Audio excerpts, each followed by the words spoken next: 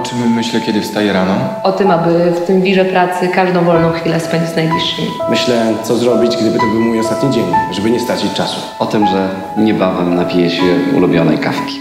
Co zjem na obiad? Czy aby przypadkiem nie zapomniałem włożyć naczyń do zmywarki, Czy rozwiesiłam pranie? bo jeżeli zapomniałem, to teraz będę musiał je skrobać. Po prostu, żeby być szczęśliwym. Kiedy rano wstaję, myślę o tym, co mam do zrobienia. Nie, o tym, co mogę zrobić. Nie mogę spóźnić się na nagranie. Wstając rano myślę o tym, żeby zrealizować swój plan dnia.